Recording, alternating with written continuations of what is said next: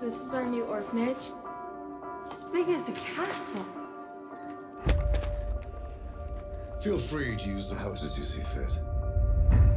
Mrs. Mullins and I stay down here. Your rooms are upstairs.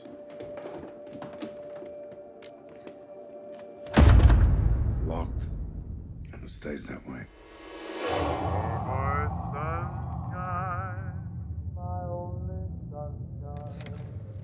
Hello? You're the Mullins daughter, aren't you? Can you help me? What do you need?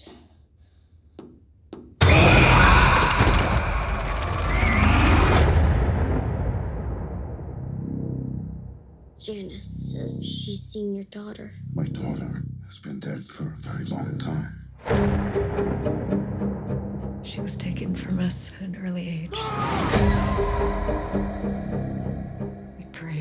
See our beloved girl again. The contact started small, but then it wanted permission to move into a doll so that it could be with us forever. We said yes.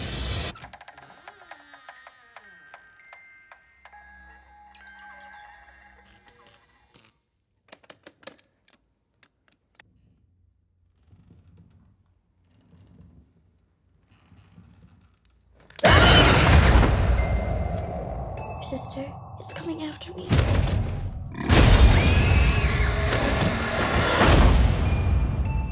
Who? The evil presence. It's because I'm the weakest. It's the doll. The devil.